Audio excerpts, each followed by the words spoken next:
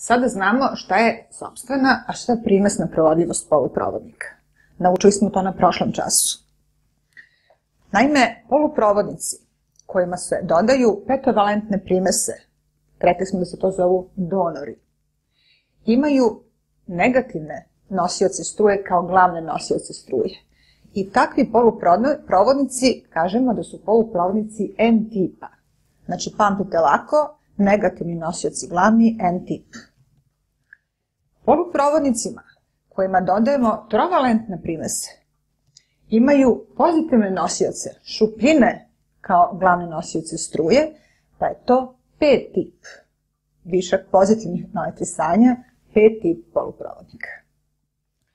Veoma važan element elektronike jeste spoj poluprovodnika PN tipa ili PN spoj.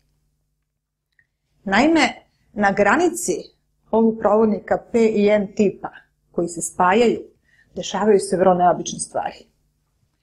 Sa leve strane, dakle, imamo glavne nosioce struje negativne elektrone, koji, kada se dobije ovakav spoj, u odnosu na desni kraj su u višku, a sa desne strane glavni nosioci pozitivni, znači njih ima više nego u levom kraju.